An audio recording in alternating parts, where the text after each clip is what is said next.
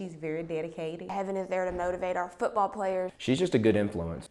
Eighth grader Heaven Ceasor everything it takes to be a leader in the classroom, sports, and through her volunteer work. She's in a number of organizations like Future Business Leaders of America, Distributive Education Clubs of America, Skills USA, and Beta Club, where she serves as the vice president. Ceasor says just recently she helped her Beta Club advisor with a donation drive for deodorant for kids with the help of Central Georgia Technical College. Ceasor says helping others warms her heart. I think just seeing that smile on somebody's face when you help them with something is like really big for me. And while Heaven may just be looking to make someone smile, her impact is bigger than she may imagine.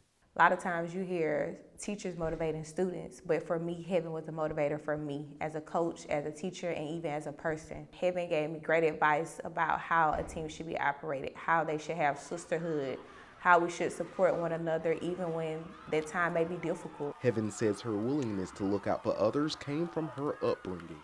How I was raised to help people, never to judge anybody on how they look or how they talk or anything like that. It's that no judgment zone that Heaven's soccer coach Tyler Layfield says makes it hard to say goodbye as she heads to high school. And she uh, she impacted the game a lot. She's impacted my life a lot, and um, I'll be sad to see her go. And it's only one thing her teachers and coaches think the community should know.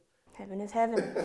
and that's your game changer of the week. Congrats, Heaven. Central Georgia, keep those nominations coming. Reporting in Macon, I'm Carlos Stephens, WGXA Sports.